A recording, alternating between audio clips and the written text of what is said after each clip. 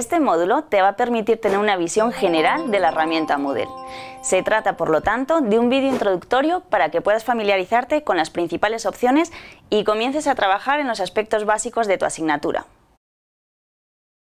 Una vez que hayas finalizado este primer módulo, serás capaz de manejar las herramientas de edición, actualizar tu perfil, incorporar los datos referentes a tu asignatura y saber qué información has de aportar en ella el primer día de clase, entender cómo funcionan las vías de comunicación con tus alumnos, foro, correo, mensajería, chat y por último establecer contacto con ellos mediante los grupos de trabajo con la finalidad de que puedas comprobar cuál es el resultado que ve un estudiante con cada acción que tú realizas como profesor, dispondrás de dos perfiles. Eso sí, para poder alternar entre ellos necesitarás tener abiertos dos navegadores y en cada uno un perfil distinto. Por ejemplo, puedes utilizar Google Chrome para acceder como profesor y Mozilla Firefox para hacerlo como alumno.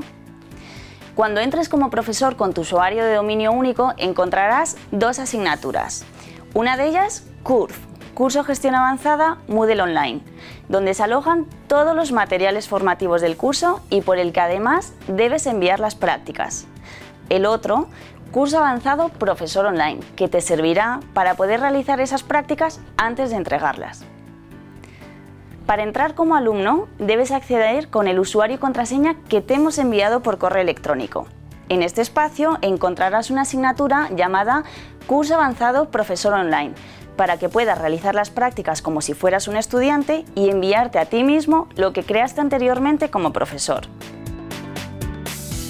Los contenidos que verás en este primer módulo son la configuración del perfil de usuario, los bloques que aparecen tanto en la página principal como en las asignaturas, el calendario, las instrucciones para crear grupos de trabajo y agrupamientos y las herramientas de comunicación, como el correo, chat, mensajería y los foros.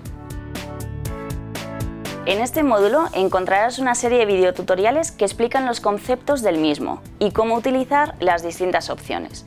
En algunos casos, estos vídeos se acompañan, además, de documentación adicional, que detalla o amplía algún aspecto concreto de dicho contenido.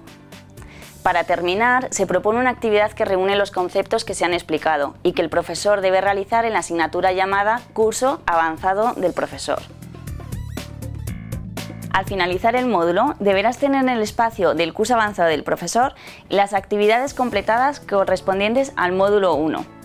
Una vez que hayas completado los cinco módulos realizando los ejercicios propuestos y se hayan verificado, podrás obtener la certificación final del curso.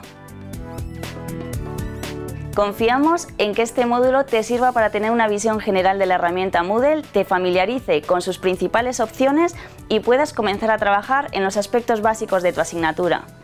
Para cualquier duda que tengas, ponte en contacto con nosotros en la dirección campusvirtual.urjc.es.